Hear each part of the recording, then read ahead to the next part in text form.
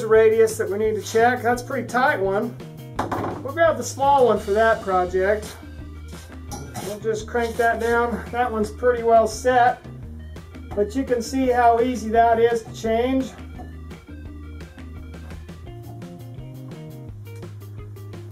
Very, very simple. This one here is used mainly for radiuses from 4 inch to a 17 inch radius. We get that down in there just nice and pretty.